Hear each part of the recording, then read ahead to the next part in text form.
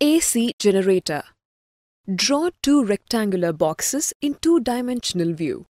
Separate the two rectangular boxes with a space in between them.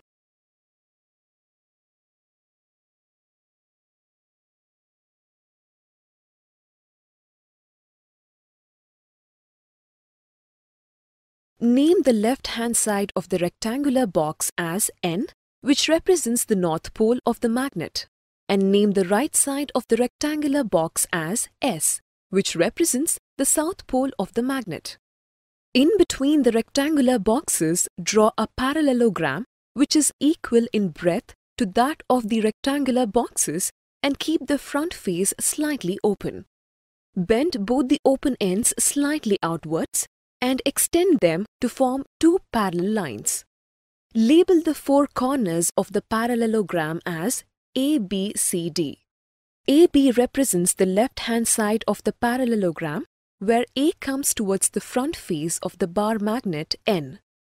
Similarly, CD represents the right-hand side of the parallelogram where D comes towards the front face of the bar magnet S. Label the parallelogram as coil. Inside the parallelogram ABCD, draw five horizontal arrows pointing rightwards and parallel to each other. Label these arrows as magnetic flux. Draw two circles and connect them to form a horizontal cylinder and shade it. Similarly, draw one more cylinder with same size a little away from the first cylinder. Label the cylinders as slip rings. At the right side of each cylinder, draw a rectangular block. Shade both the rectangles. Label the rectangular blocks as carbon brushes. From the right side of each rectangular block, draw a spring. From the right end of each spring, draw a horizontal line. The horizontal line represents the alternating EMF.